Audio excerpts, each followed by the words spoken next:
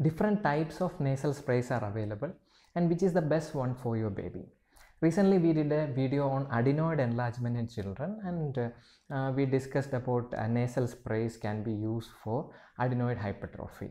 So, in that video, we got many comments uh, asking for uh, doctor can you suggest a nasal spray for my baby or just tell the name of that spray so that we can use it so instead of giving the names of the spray i thought uh, i'll do a video in detail so that you can get a better understanding on that.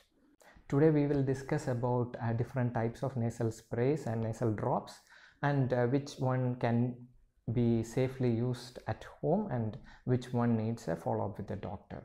For easy understanding, I have divided uh, the nasal sprays and nasal drops into mainly three groups. So first group uh, is saline nasal spray or saline nasal drops which is freely available everywhere. You can just buy it from a medical store and use it without the prescription and it won't cause any harm.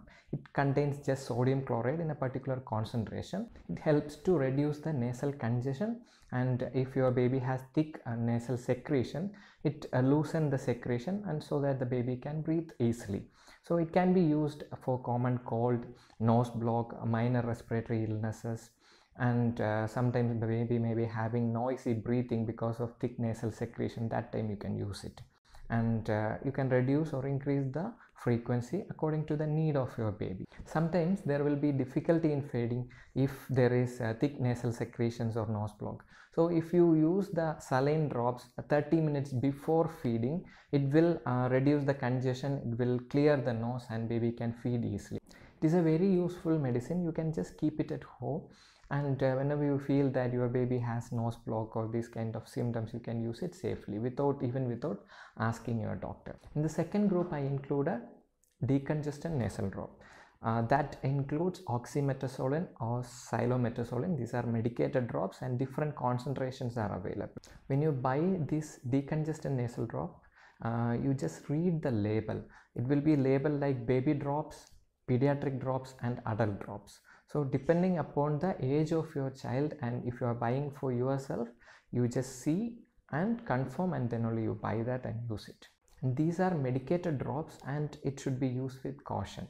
Make sure that you should not use it more than three times in a day and you should not use it continuously for more than three to five days because excessive use of these medicated drops can cause rebound nasal congestion once that congestion develop even if you use the drops you won't be getting any symptomatic relief and that will be troublesome. So better don't use it more than 3 to 5 days continuously and also never use it more than 3 times in a day.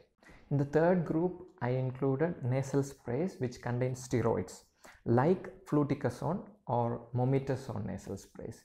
So these nasal sprays are used to treat different diseases like allergic rhinitis and it can be used for adenoid enlargement which I mentioned in that video also.